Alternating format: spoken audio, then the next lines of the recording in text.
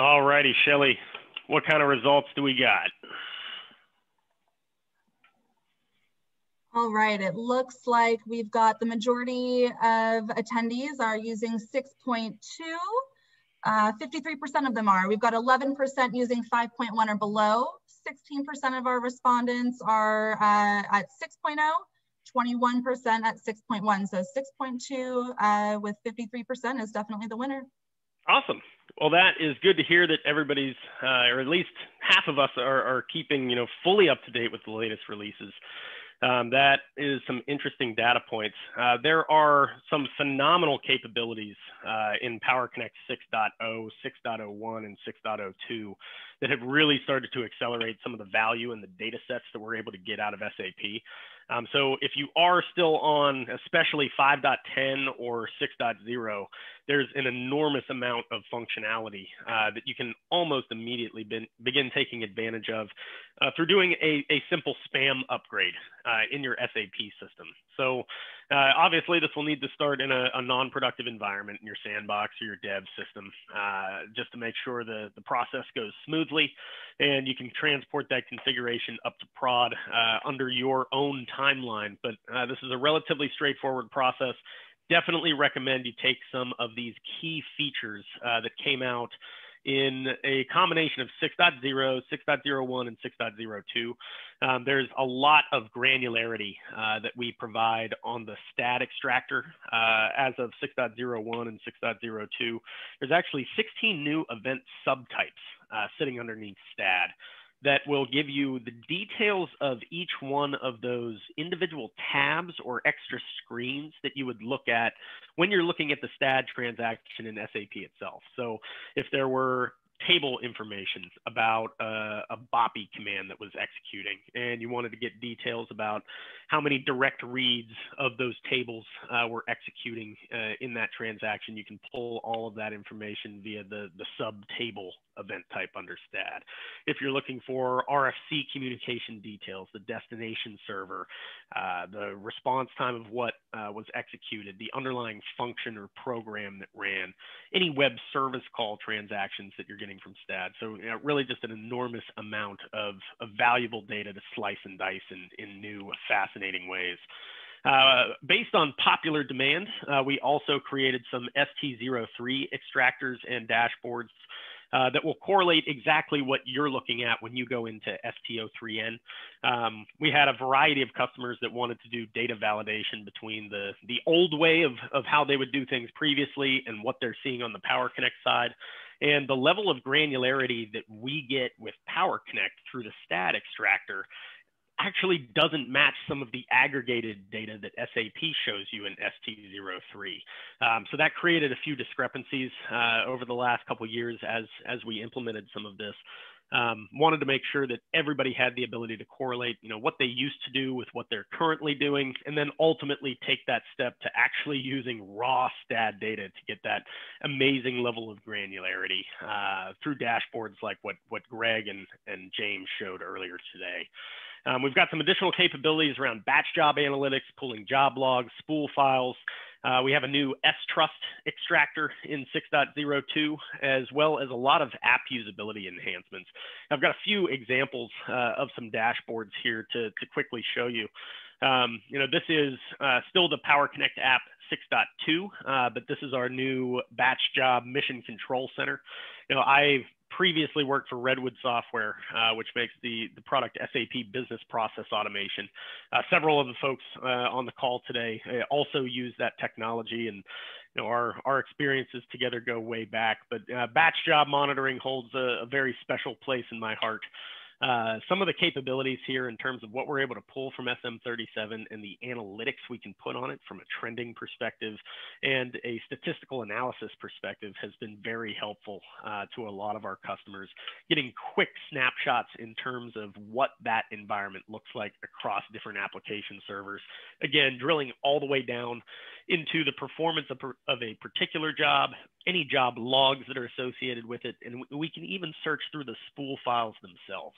You know, in a lot of cases, uh, you may run jobs in your SAP environment that uh, appear to complete successfully because the results are output to a spool, and when you pull up that spool, you find out, oh, the job executed in half a second and there's no data in here. So even though SAP says it completed successfully, I'm not actually looking at uh, the, the information that I want and the job didn't do what it was supposed to do. Um, so having that level of investigative capability to dig into that spool file and let me know if a job that appears to have completed successfully didn't, super helpful to a lot of our business process and functional teams. Uh, some of that uh, real-time performance analytics. Uh, we've put together a variety of SAP daily checklists uh, over the last couple years as well, based on different flavors and recommendations from our customers. Um, so this is a dashboard that we can easily uh, apply to your environment that summarizes some of those key things that you might rely on an Excel sheet or a, a, PDF document that first thing in the morning when you wake up, you do your daily check on SAP, make sure you're seeing uh, the, the right thresholds uh, being met, you're keeping your SLAs, et cetera. You know, not only can we create alerts so that you don't even have to run that process altogether, but you've got the capability to, to view all of this information in a more visually appealing and intuitive fashion in some of the latest releases of Power Connect as well. And then last but not least, this was a, a specific uh, capability that we included based on the, the request of several customers uh, to have uh, an S-Trust extractor. Uh, some of that information has uh, traditionally been hard to get at because a lot of this detail is actually encoded and encrypted at the operating system level. So uh, being able to create alerts when you have you know certificates that are expiring in the next 30 days, catching those issues, updating that uh, information so that you don't accidentally break an RFC connection or uh, some other business process that's relying on secure communications across your environment is enormously helpful um, uh, to have those things handy. So um, last but not least, in the pre 6.03, uh, there's interface monitoring capabilities as well. This is uh, goes back to that ST03 data set that I was referring to previously. Um, we have a lot of dashboards to basically drill into the same type of information that you would normally see in ST03N, but you have the ability to quickly and easily filter, slice, dice, sort, um, even tab across multiple different types of statistics to view that in a more visual fashion uh, than what SAP ever provides uh, in its native SAP GUI.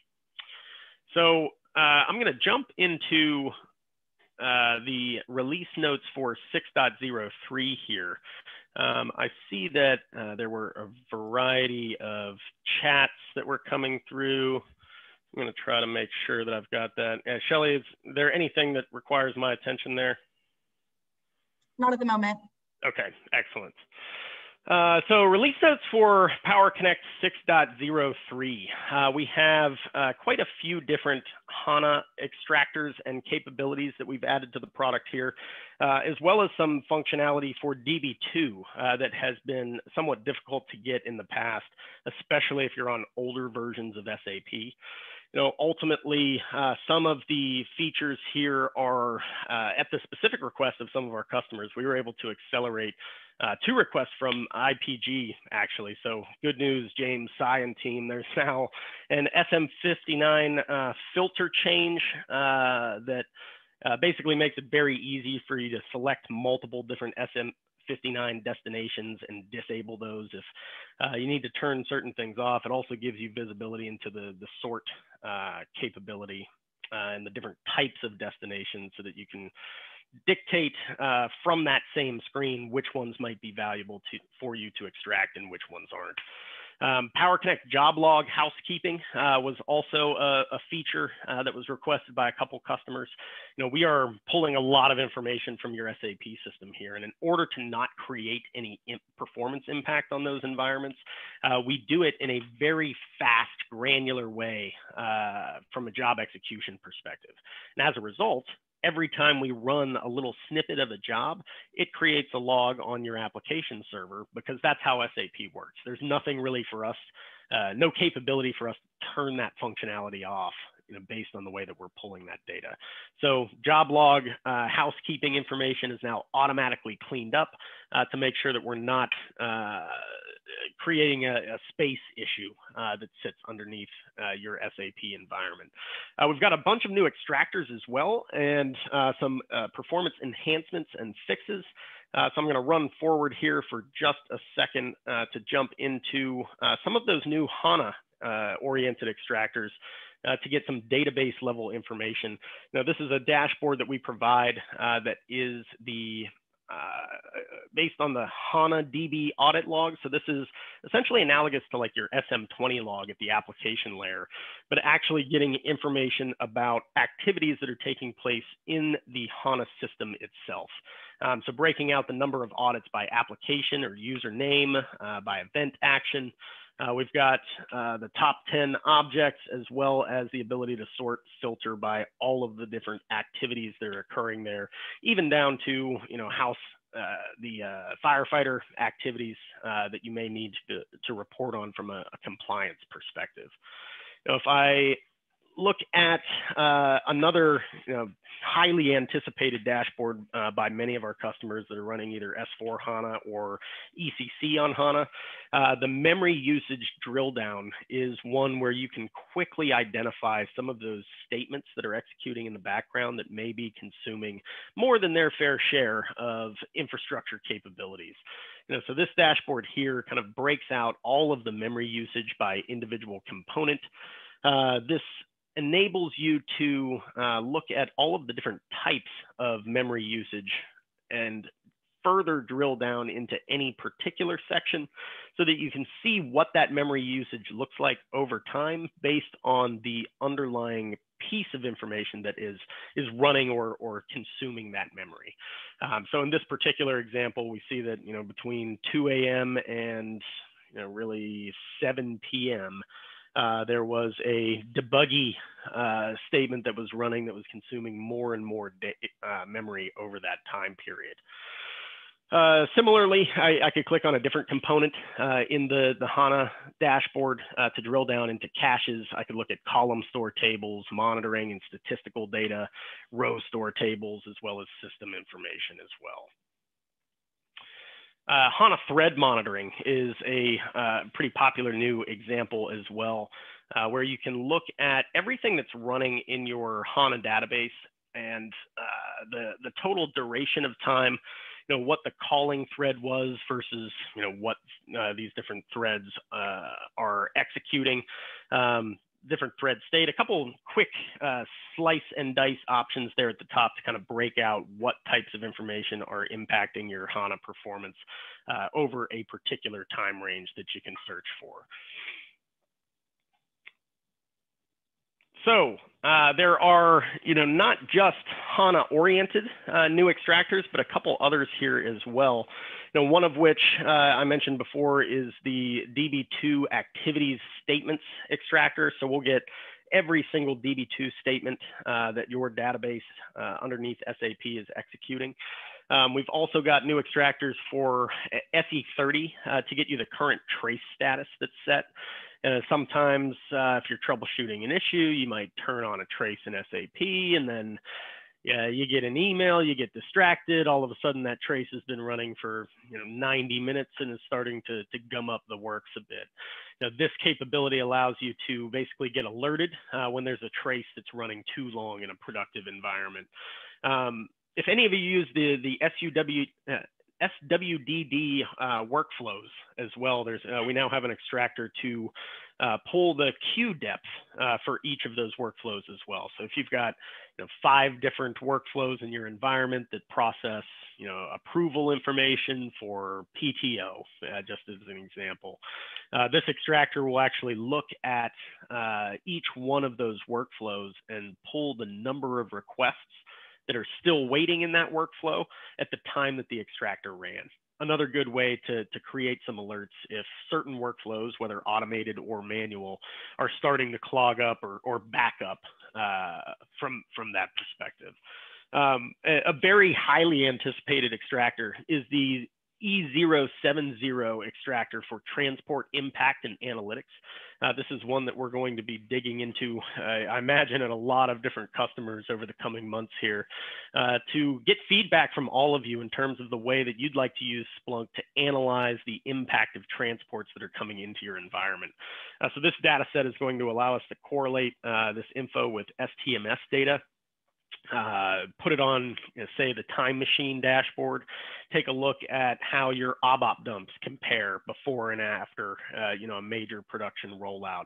Look at overall response time, or even response time for a specific module or set of transactions that are executing in SAP.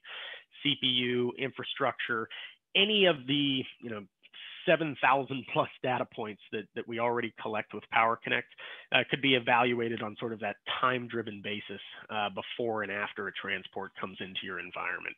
Uh, and last but not least, there is uh, another couple extractors that we have for HANA jobs uh, and job performance in your environment as well.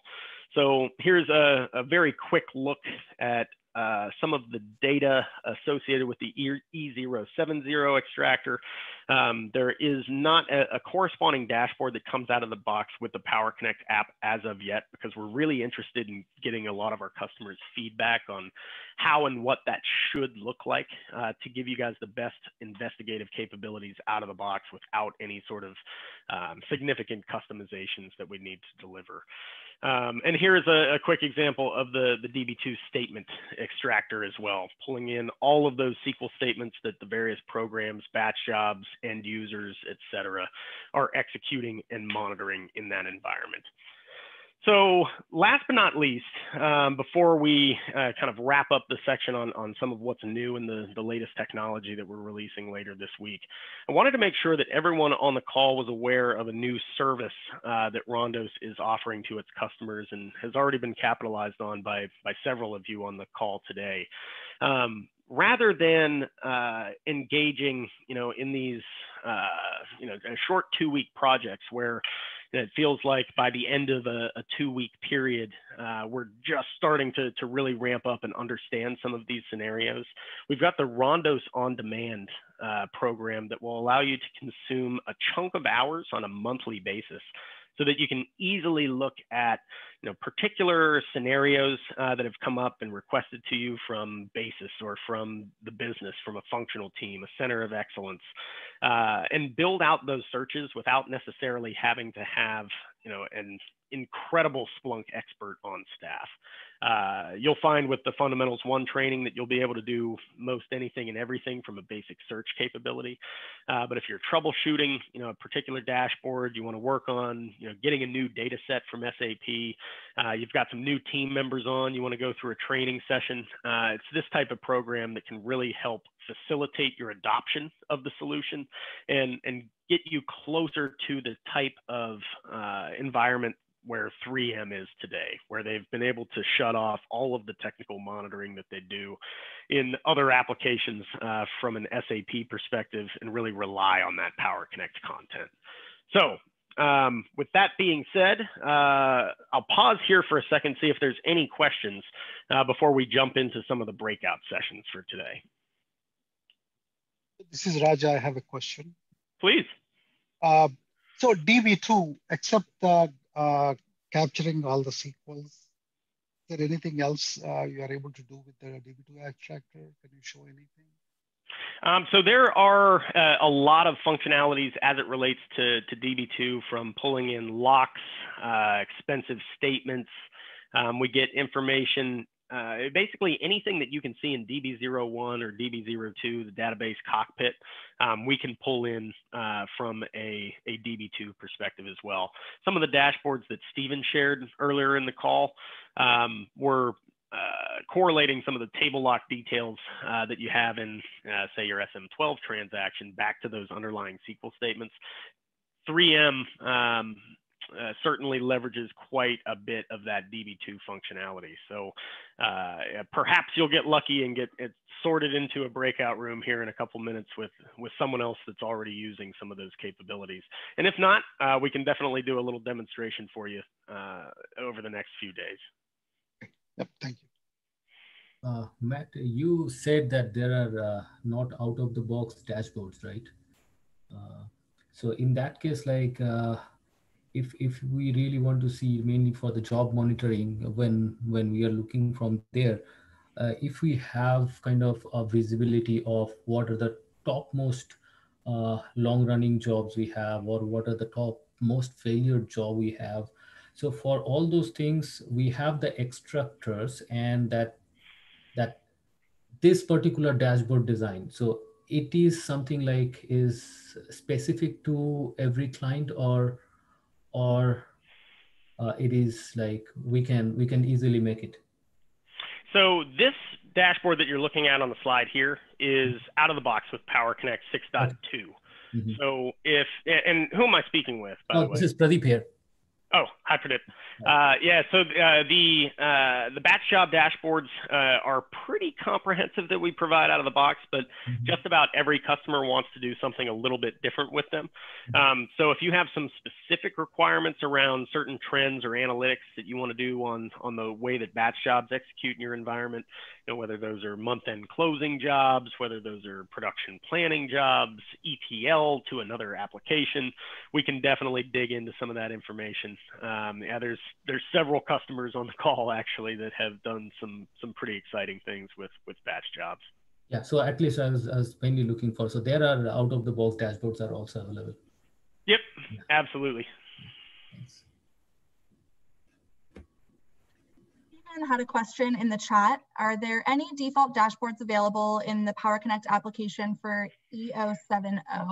Would love to see some correlation between ABAP dumps and other system concerns after a release. Awesome. Yeah, uh, we are looking forward to it as well. And if there are any specific requirements or suggestions uh, that you have for this, we've been working on a couple beta version dashboards, you know, internally at Rhondos. Would love to get some of your feedback on on what we've got so far uh, and any changes or recommendations you might suggest before we push that out to, to customers. Great. Mukesh has a comment that HANA memory usage dashboard is very good, so that's great. Uh, Sai with IPG wants to know, are there any extractors to be installed on HANA for these? Uh, so it's just the spam upgrade uh, to, to Power Connect. So as soon as we get uh, the 6.03 uh, support pack, uh, from our, our partners at Software One, We'll make that available to any of our customers you know, Sai, you'll probably start that off in, in YD1 or, or RD1, and we'll move that up uh, into your, your productive instance. Um, get the get the Splunk side app upgraded as well, and that HANA dashboard will come out of the box. Looks like Mukesh wants to know, do we have um, SCOT, Scott, setting data in add-on now? We do, um, and that is in. I think that was in 6.0 or 6.01. Um, so that's that's been out for a while. Um, you know, I recognize that uh, some of you with with really large environments really have to kind of plan when you're going to do these upgrades because you know if you've got 80 uh, SAP production systems where Power Connect sits, takes a, a, little bit of man effort to to go through and, and run all those.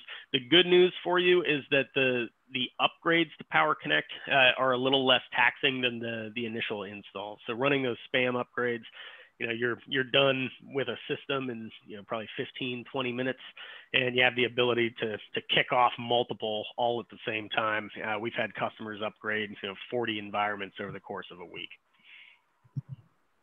Thank you, Mike. Absolutely. Uh, can you just a little explain like how it is different from earlier add-on? What is that different that will speed up 6.03 add-on install? Um, yeah, so with Power Connect 5.10, um, there were 10 support packages uh, associated with the, the base installation, and you have to go through the, yeah. the full Saint installation. So there's a lot of you know loading packages one by one to the front end of the uh, the the Saint transaction in your client triple zero. It was 6.03. You've got significantly less support packages. You're able to pull all of that stuff in very quickly, and the the upgrade process is less uh, stringent. There's less changes to the underlying tables and things like that, so it tends to run a lot faster. All right, yeah, got it. Thank you. Thanks, man. Yep. So I see uh, Shelly keeps trying to to jump in and, and remind me that I'm probably going over my uh, my dedicated time here. So please reach out if you have any other questions on uh, the latest uh, and greatest Power Connect functionalities. You know, the Rhondos team here is excited and willing to to help any and all of you get updated uh, to this uh, so that you can you know, continue capitalizing on the the value that Power Connect provides.